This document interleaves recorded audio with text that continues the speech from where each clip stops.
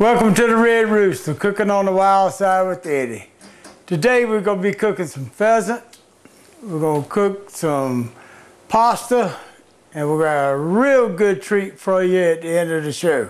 I promise you, stick around, you won't be sorry. We'll be right back.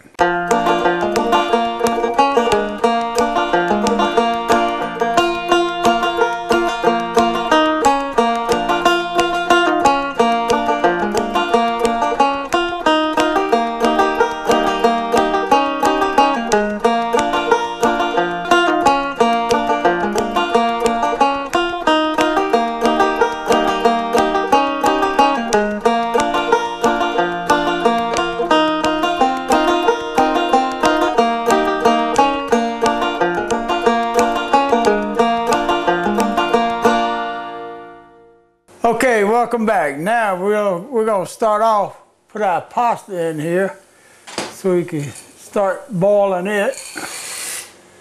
Give it a quick little stir here. We had a spoon anyway.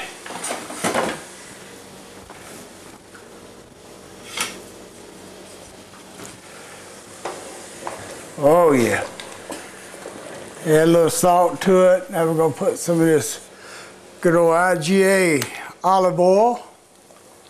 Just add you a little bit in the water, keep it from sticking together.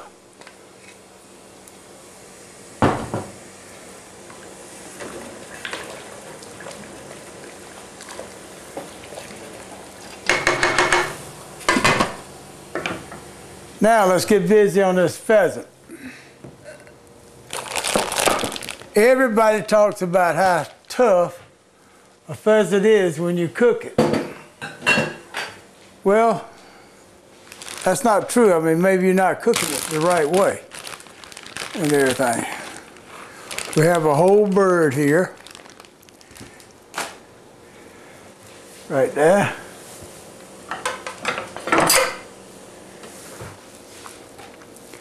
What you want to do is cut it up, find out where your joints are, and just go in between there with the knife and cut it up.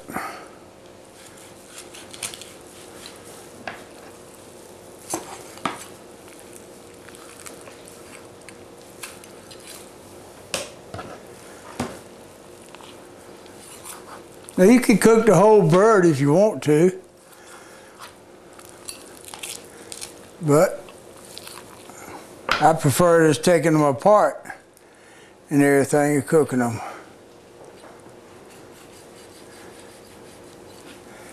Take off, clean off whatever somebody else didn't clean off.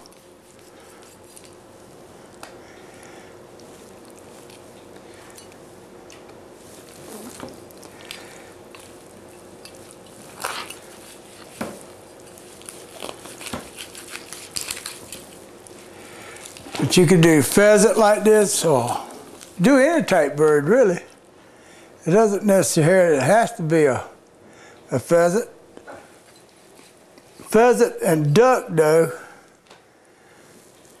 they're very tough birds, particularly when you boil them or something like this, try to pre-boil them and everything. They get to the point they're right tough. And uh, that way you want to just help them along a little bit.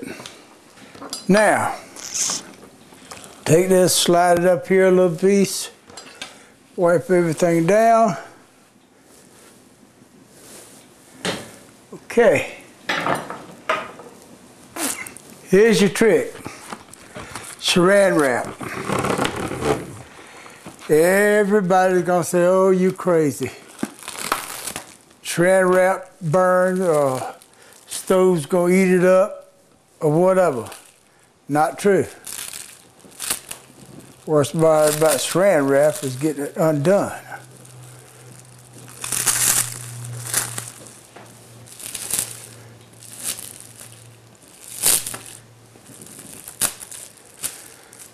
Okay, got your saran wrap. Get you some tin foil.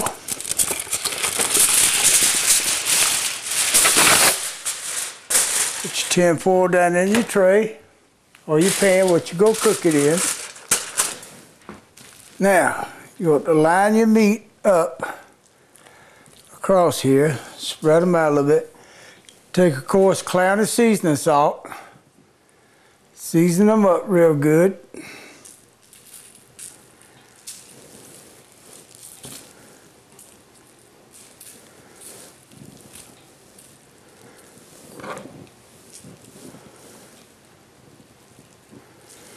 You can roll them, you can stack them, do it any way you want to do it.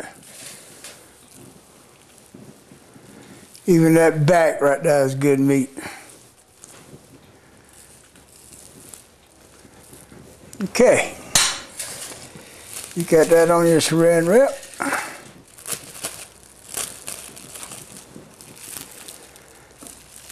Now, we're going to take cream of celery. One can of cream of celery.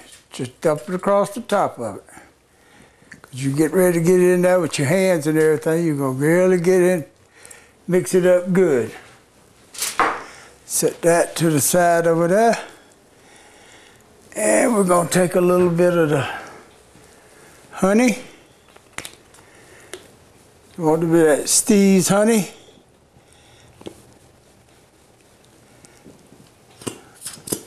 Think I should have put the thing upside down. Oh yeah.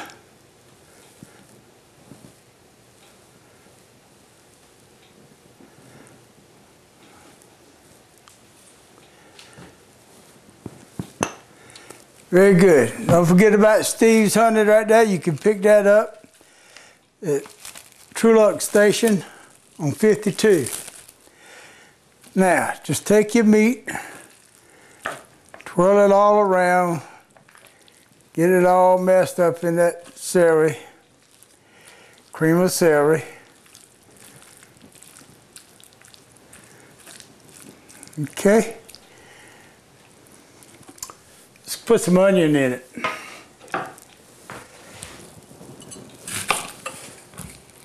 Got to put onion in it.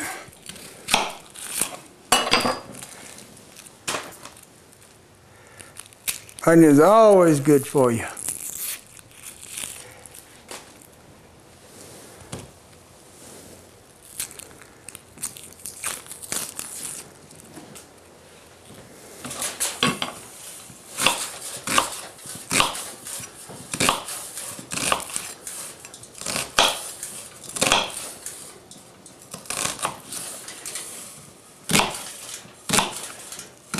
Never get too much.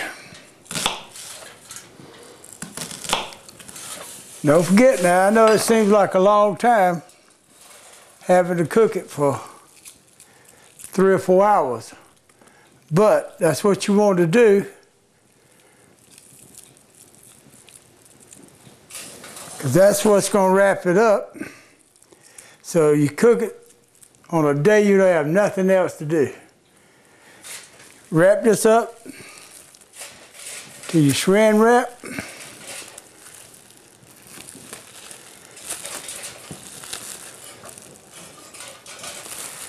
Get it wrapped up good. Then you take this here, set it in your tin foil. Bring that tin foil all the way up, all around your sides and everything. You see how you got it all the way up. Then going to take you a, a good cup of water and put on it and slip it right into the oven. We're to stir, stir this up right here because we've got a little time to let this start cooking. And we're going to take a quick break and we'll be right back.